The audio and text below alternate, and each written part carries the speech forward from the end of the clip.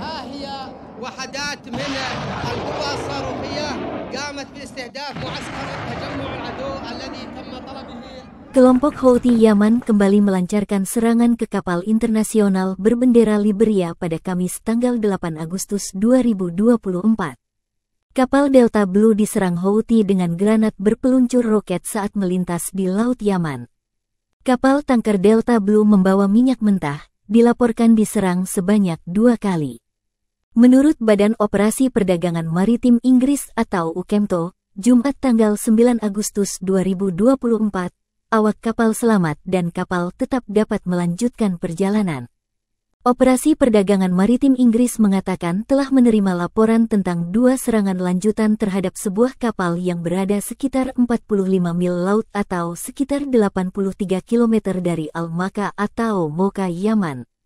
Dikatakan bahwa kapal tersebut diserang oleh kapal dinas tak berawak, yang kemudian ditembaki dan dihancurkan oleh tim keamanan kapal, dan bahwa sebuah rudal mendarat di laut dekat kapal, tanpa meledak atau menimbulkan korban.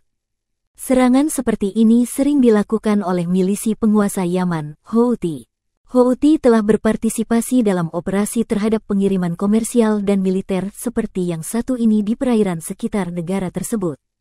Mereka mengatakan bahwa serangan ini dilakukan sebagai bentuk simpati terhadap warga Palestina di Gaza dan bahwa serangan akan berakhir setelah gencatan senjata tercapai.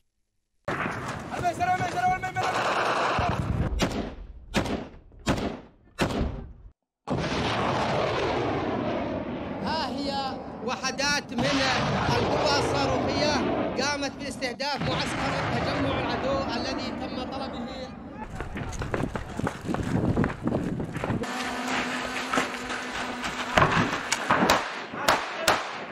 عتور الجود عتور عتور عتور في خطوط